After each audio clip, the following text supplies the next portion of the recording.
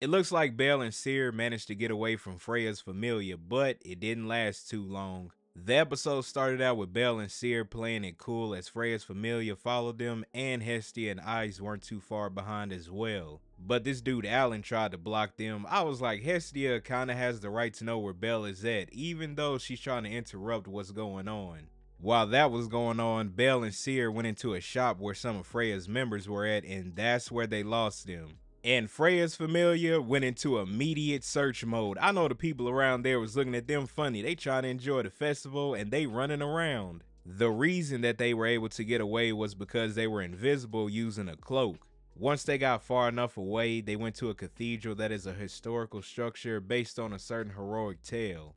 Basically, there was a knight who had exchanged a vow of love with the spirit and he was torn between her and someone else. And the spirit was the one he didn't choose. The spirit was so distraught by her love for him, she tried to eliminate him, but she ended up saving him. It happened when some monsters showed up again, and she was the one who got taken out to keep the knight safe. After Bell told Syr that, he mentioned what he learned from the story was that the hero failed to keep his loved ones safe and for others not to make the same mistake. I don't know, that story and some of the characters kind of seem similar to what Bell has going on to an extent. This part right here, I'm not too sure if this is foreshadowing, but Syr asked him, what if she was like the spirit? What would he do if she got angry and hurt someone? Bell let her know that he would try to stop her so that Syr wouldn't suffer the misery of hurting anyone. I do wonder if something is going to happen in the future that's similar to the story that was talked about. Now that some time has passed, Bell and Syr are to go have dinner, but Syr saw someone selling an accessory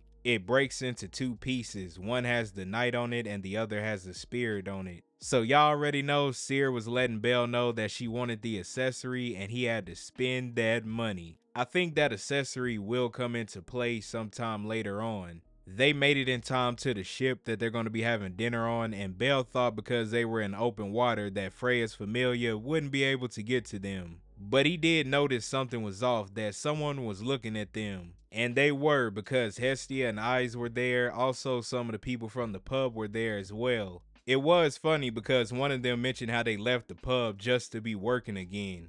They might as well have some fun while they were spying on Bell and Syr because once they get back, Mia gonna be mad.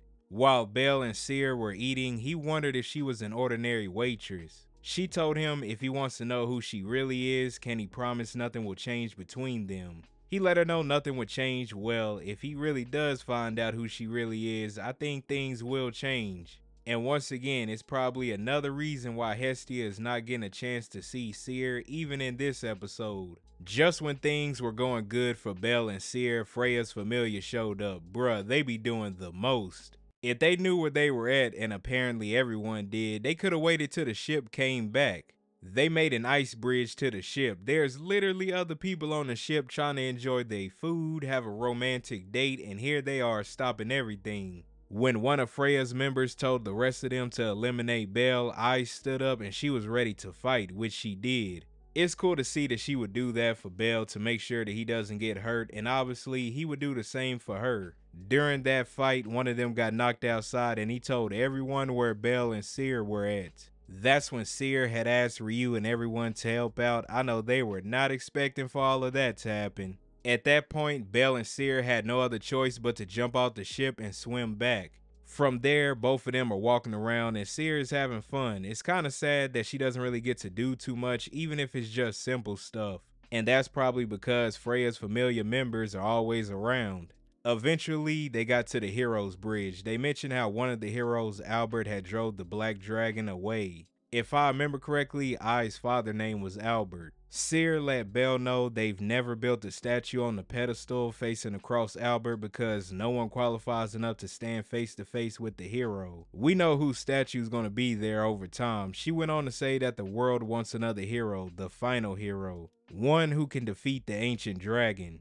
That fight's going to be an interesting one. When Bell and some of the others have to fight the dragon, that's going to be an awesome fight. At that moment, Freya's Familia showed up and they made a run for it, and they ended up going to a place where they wouldn't be bothered. And Bell's reaction to the whole thing was hilarious, and that's where the episode ended. Overall, I thought this was a good episode. I like how they're mentioning stories about the different heroes or characters from the past and how the future, it will be Bell's turn to be the hero.